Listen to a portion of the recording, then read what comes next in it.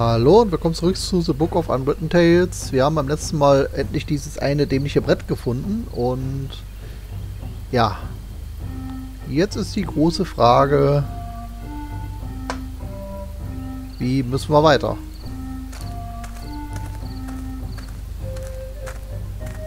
Das Brett sollte die Termiten umstimmen, aber mein zweiter Versuch sah trotzdem noch kürzer aus als der von Massas. Ich sollte auch beim Maßband nachhelfen. Ah. Ich hab schon. Ich hab schon. Ich weiß, was ich machen muss. Moment mal, das können wir abkürzen.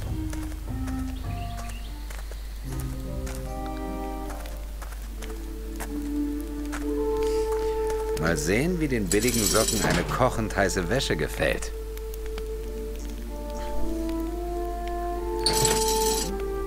Heiß! Sie sind eingelaufen.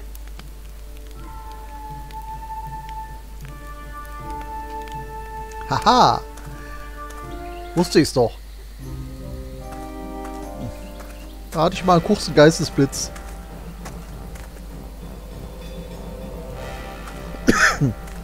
Entschuldigung.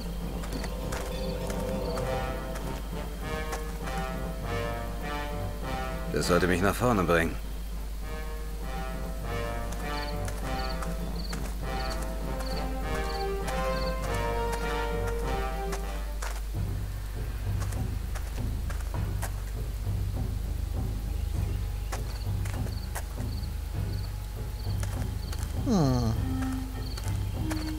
Ich sollte dem Universum und dem Raum-Zeit-Kontinuum nicht noch größere Kopfschmerzen bereiten, indem ich mich länger als nötig mit mir selbst unterhalte.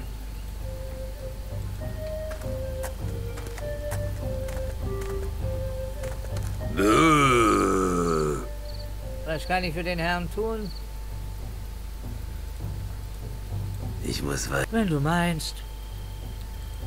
Hm. Gehen wir mal zur Drachenhöhle. Vielleicht haben wir da noch irgendwas, was wir machen können.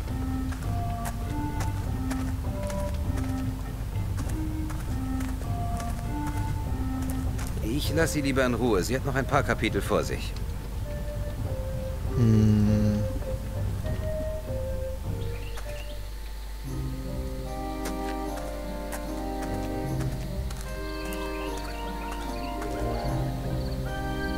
Okay.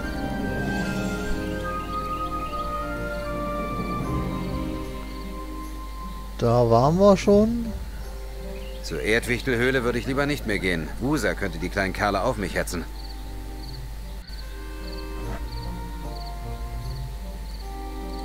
Hm? Nee, keine Ahnung, was ich fragen sollte. Hm. Huhu. Was ist denn nun schon wieder? Ich besorge dir eine Flasche Feuerwasser und du gibst mir dafür deinen Knochenbogen? Ich gebe dir das Hirsch. Kein Problem. Ich muss mal raus. Irgendetwas stimmt hier.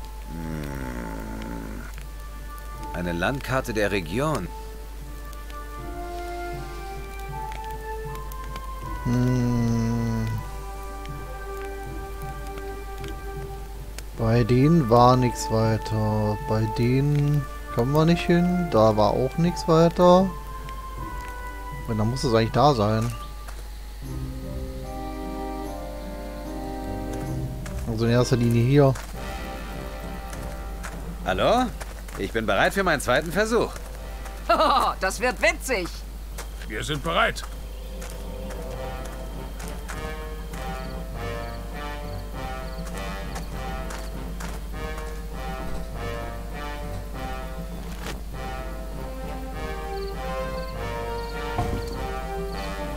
Beeindruckend. Er hat betrogen. Habe ich nicht? du hast ja keine Ahnung. Als nächstes steht das Bogenschießen an. Dafür hat der Kuttenträger, also ich, Nate, also mir, den Knochenbogen besorgt. Mein Freund Nate wird es der Grünhaut zeigen. Mit dem richtigen Bogen, der Hilfe des Zaubersteins und einem Quäntchen Glück gewinnt er wieder. Okay.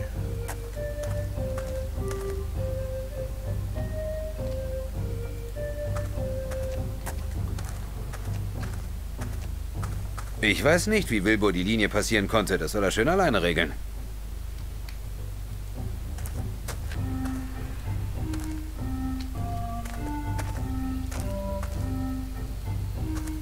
Der Häuptling hält mich für einen Spion der Erzhexe. Die Tarnung ist perfekt. Gute wird heute noch einigen Grund bekommen, sich grün und blau zu ärgern. Naja, hauptsächlich grün.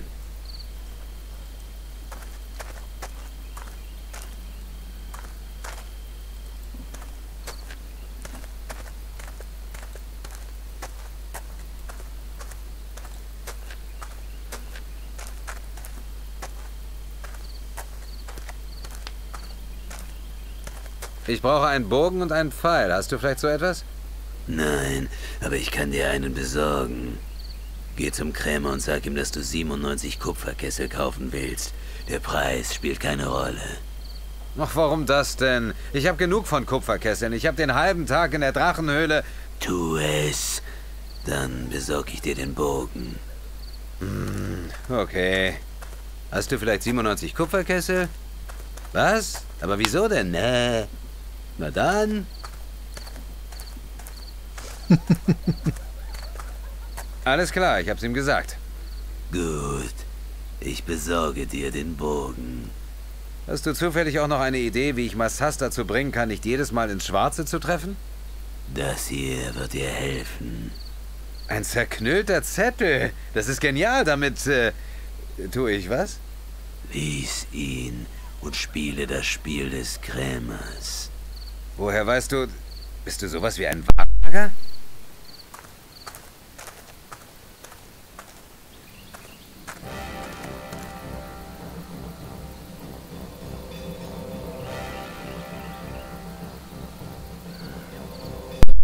Verzeihung, ich musste niesen, deswegen habe ich mal ganz schnell das Mikro stumm geschaltet, deswegen hat es mal kurz geknistert. Verzeihung. Ah,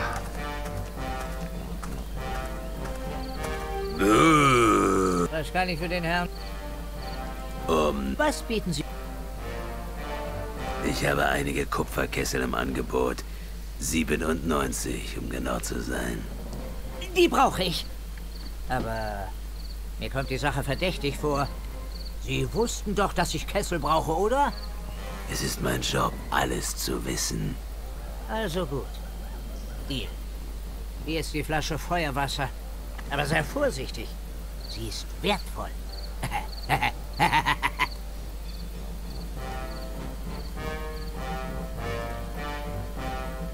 so. Jetzt haben wir die Flasche Feuerwasser. Was ist denn nun schon wieder? Ich habe eine Flasche Feuerwasser besorgt. Du hättest mich warnen können, dass das Zeug so wertvoll ist. Wertvoll? Es kostet ein paar Kupferstücke und man bekommt es hier in den wilden Landen an jeder Ecke. Aber warum? Ich war nur zu faul, es selbst zu holen. Außerdem wollte ich dich loswerden. Gib schon her. Hier hast du das Geweih. Danke. Nicht so laut. Ich muss mal raus. Irgendetwas stimmt hier mit der Luft nicht. Das Geweih und die Sehne zusammen ergeben meinen altbewährten Knochenbogen. Ich lasse ihn und seinen Kater lieber in Ruhe. Sehr schön.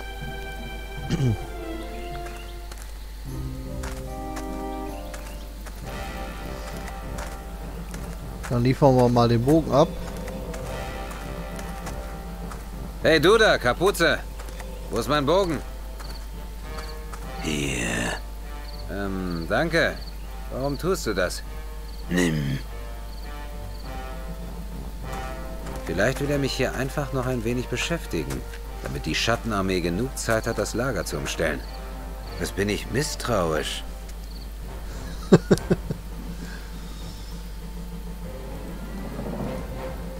das ist der schönste der Kupferkessel. Meine Nummer 98.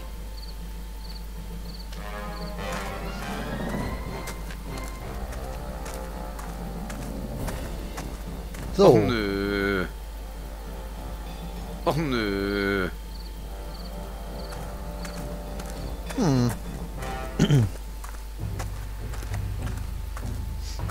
Der Mensch hat die Prüfung der Geschicklichkeit gewonnen. Unmöglich. Ich... Ich habe gesprochen. Der Mensch gewinnt. Auch den zweiten Wettkampf. Das ist nicht... Ich... Heulst du gleich?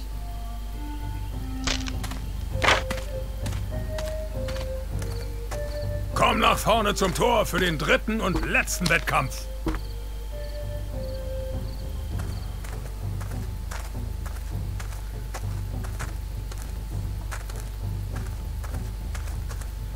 Und es gab schon Leute, die meinten, ich wäre peinlich. Aber jetzt sollte ich mich sputen. Ich muss dafür sorgen, dass Massas ihren Lauf nicht beendet.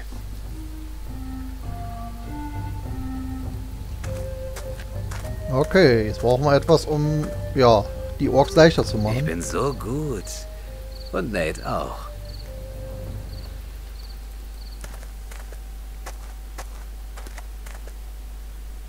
Hm, Okay, hier können wir nichts mehr machen.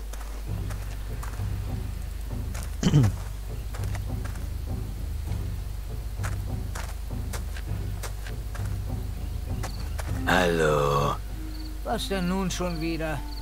Können du und dieser Kriegerverschnitt mich nicht einfach in Ruhe lassen? Geht man so mit Kunden um? Kunden? Alles, was ihr tut, ist doch, mich auszutricksen. Ihr habt meinen halben Warenbestand und ich habe kein müdes Goldstück mit euch verdient. Hast du zufällig Interesse an 97 Kupferkesseln? Oder kann ich dir sonst etwas anbieten? Meinen wertvollen Verkleinerungsring? Oder mein letztes Hemd? Also, Weißt du was? Hier, nimm den Ring. Das ist alles, was ich noch an Wert besitze. Dann muss ich mich wenigstens nicht noch einmal für dumm verkaufen lassen. das mit den Töpfen und den drei Zahlen hat sie in ihrer Händlerehre getroffen, was? Ich bin kein Händler mehr. Schluss mit dem ehrlichen Leben. Ich gehe in den Süden und werde Banker. Tun sie nichts, was sie später bereuen würden. Ein Verkleinerungsring. Ganz umsonst. Och nö. okay. Wir wissen ja, was wir zu tun haben. Ach, macht das Spaß. Hey, Zloff, Ja, Freund Nate? ich werfe euch einen Ring runter. Lasst ihn ja nicht fallen. Also gut. Aufpassen, Grump. Okay, zieht ihn an.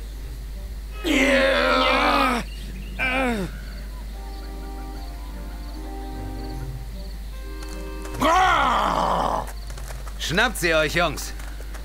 da hat jemand ein kleines, speckiges Problem.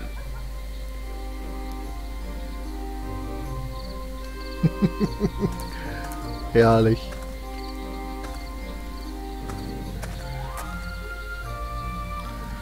So gut.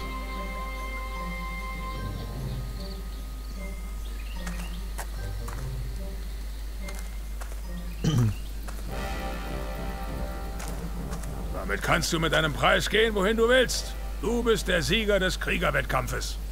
Ausgezeichnet. Nichts wie weg hier, bevor Sasi zurückkommt. Ausgezeichnet. Damit habe ich meinen Job ja wohl vorbildlich erledigt.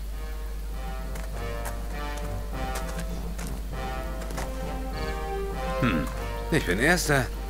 Wie Wilbur wohl beim Austausch des Artefakts vorankommt.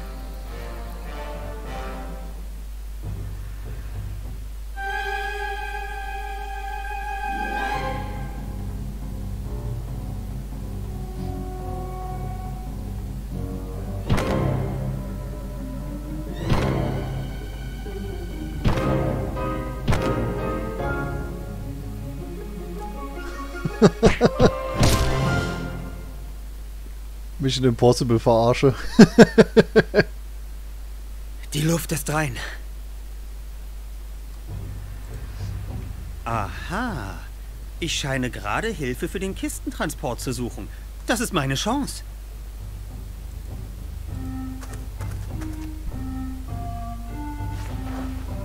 Da ist es schon.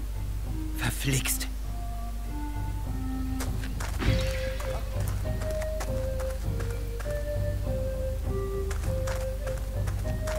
Ah, das erklärt auch Hallo? den anderen äh, hinterm Ist Spiegel. da wer? Meine Nerven müssen mir einen Streich gespielt haben. Oder hier ist ein unsichtbarer Einbrecher. das ist die Kiste. Also los.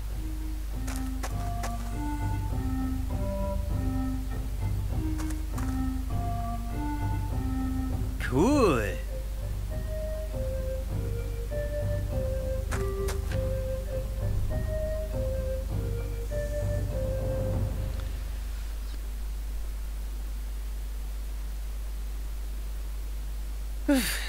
Also los.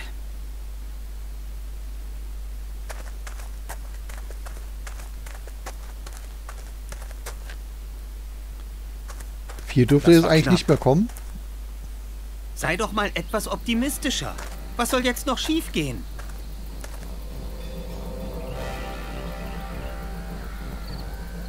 Ich hab's gewusst. Dieser verdammte wandelnde Bettvorleger.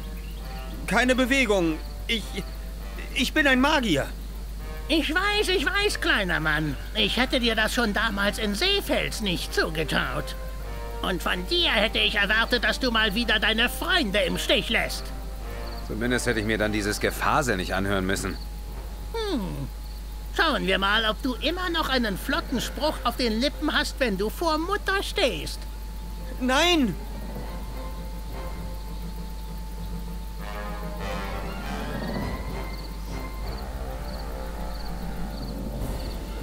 Zu freundlich von euch. Legt sie in Ketten.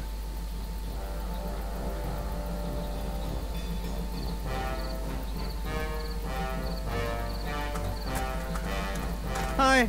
Hat man uns gefangen genommen? Yep, hast du das Artefakt ausgetauscht? Yep. Wo ist Ivo? Hier bin ich. Und ich habe eine Transportmöglichkeit organisiert. Ui. Hüpft drauf. Ich muss euch beiden noch durch die Zeit zurückschicken. Und ihr müsst noch etwas anderes für mich tun. Ah. Ich habe gerade mal kurz nachgeguckt. Ja, wir sind am Ende so langsam. Also schön, ich muss mich beeilen. Nate und Wilbur sind oben gefangen.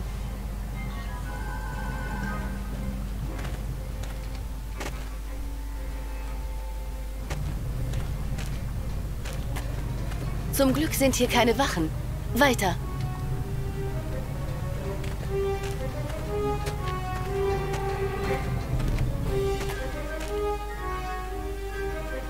Wir müssen was tun, Captain Nate. Was denn? Es ist zu spät. Mutter, du hast nach dem Artefakt des Schicksals verlangt und ich habe es dir gebracht. Was?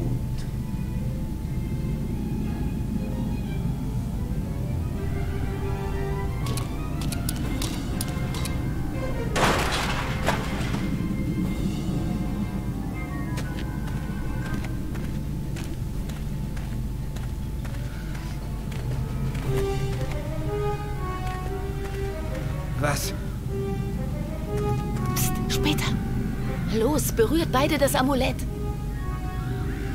Bis gleich.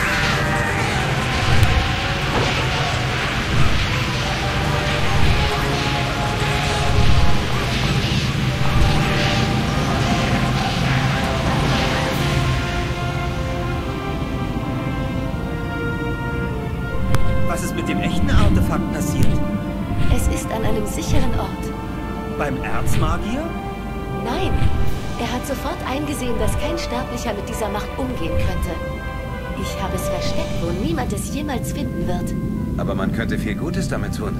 Was du damit tun würdest, wissen wir. Was machen wir als nächstes? Das kann doch noch nicht alles gewesen sein. Vielleicht wartet hier irgendwo noch ein anderes Abenteuer auf uns.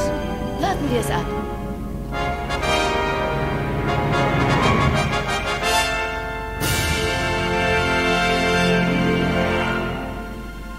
Ja, da sind wir ja schon am Ende. Ein super tolles Spiel. Den zweiten Teil werden wir auch machen und noch den kleinen Spin-off-Teil. Also keine Sorge, danach ist noch nicht vorbei. Den ersten Teil habe ich bis jetzt noch nie gespielt und ich muss sagen, der ist super gut geworden. Der zweite könnt ihr euch, auf den zweiten könnt ihr euch aber auch sehr freuen. Der ist genial. Grafik, Sound, äh, die ganzen Witze, alles top. Also die Rätsel sind fair, aber fordern. Echt super. Immer logisch, äh, dass man auch wirklich drauf kommen kann.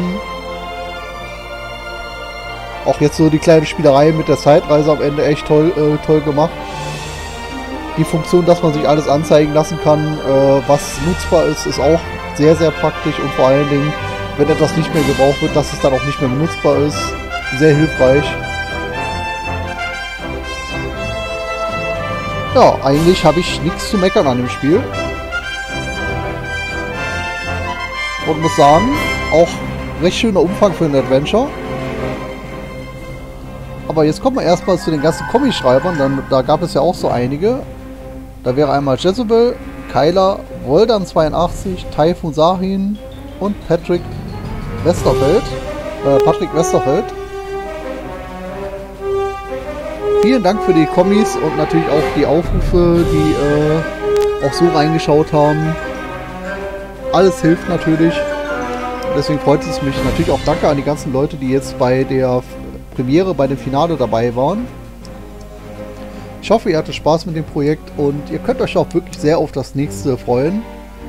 Wie gesagt, wir machen direkt weiter mit dem zweiten Teil und der ist für mich nicht blind, aber ich liebe diesen Teil, der ist genial ohne Ende. Also ihr könnt euch auf jeden Fall auf was richtig Gutes freuen. Dann lasse ich euch jetzt mal weiter in den Abspann laufen und sag nochmal Danke an alle.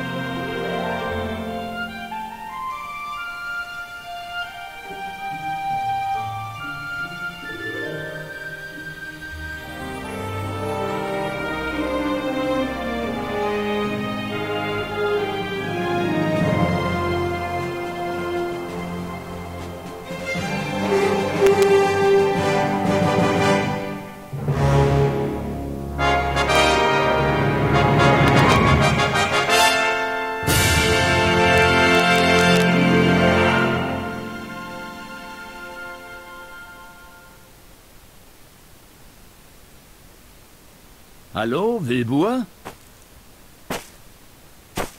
Ich höre doch deine Schritte. Hallo?